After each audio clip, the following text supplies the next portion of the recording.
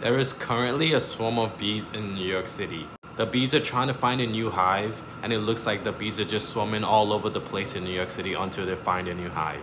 New York City has been going through it.